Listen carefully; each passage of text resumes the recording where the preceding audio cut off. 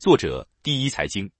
三月二十五日，小米汽车首批门店营业，开启 SU7 产品静态展示。根据销售顾问的介绍，目前可公开的信息是，SU7 会有标准版和 Max 版两个配置版本。至于是否会有更多配置版本，要等到今日晚间发布会揭晓。三月二十八日，记者在国内一款 App 的汽车询价功能中，意外看到该 App 展示了小米 SU7 的四个版本车型，分为普通版。Pro 版、Max 版和 Founders Edition 限量版四个版本外观和大小基本一致，其中两个低配车型高度为一千四百五十五毫米，比两个高配车型高十五毫米。除此之外，低配车型和高配车型的主要差距在电机、电池等方面。普通版和 Pro 版两个低配车型均采用后置后驱的单电机，不过普通版电机总功率、总扭矩为二百二十千瓦和四百 Nm。而 Pro 版则分别为二百七十五千瓦和四三八 Nm，相应的，普通版百公里加速时间为五点二八秒，而 Pro 版为四点六八秒。普通版和 Pro 版电池容量也有区别，普通版为七十三点六度电，CLTC 续航里程为六百六十八公里；Pro 版为一百零一度电，CLTC 续航里程为九百公里。不过，三月二十七日晚，小米董事长雷军发文称。小米 SU7 标配起步续航已经升级到七百公里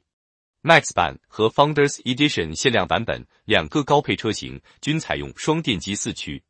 其中 Max 版电机总功率、总扭矩为四百九十五千瓦和八三八 Nm，百公里加速时间为二点七八秒。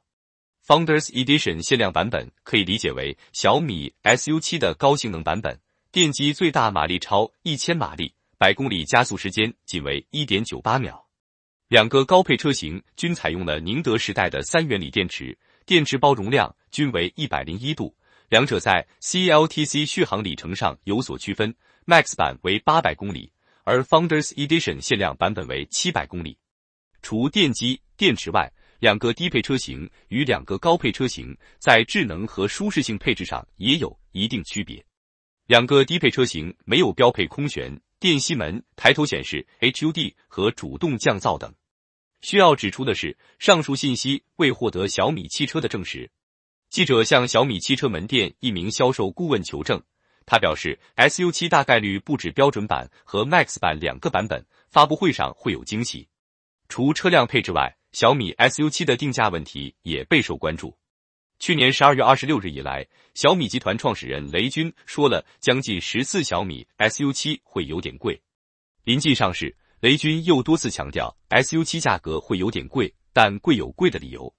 他表示，小米 SU7 标准版配置远超 Model 3，而且产品上市初期采购成本也非常高，定价上确实有压力。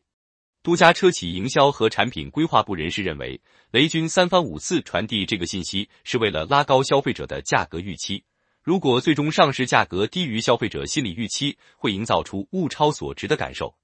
另有车企营销人士认为，自小米汽车亮相以来，一直有一些力量在网络上带舆论节奏，建议小米 SU7 定价九点九万或者十四点九万，交个朋友。还有舆论攻击小米汽车是没有技术的组装厂、贴牌厂，把供应商的方案包装成自研方案。因此，该人士认为，雷军持续强调有点贵，也可能是应对商战的防守牌。不过，从进攻的强度来看，对手肯定是把小米汽车视作大敌，非常警惕。今日晚间，小米汽车将会公布正式售价。汽车行业内存在两种定价策略的猜测：一是起售价下探到二十万元以内。二是起售价定在二十二万元至二十三万元左右。第一种定价策略的依据是中型纯电轿车市场容量本身不大，竞争异常激烈，接近尺寸的吉利银河 E 八起售价定在十七万元区间。小米汽车如果定价太高，则没有性价比优势。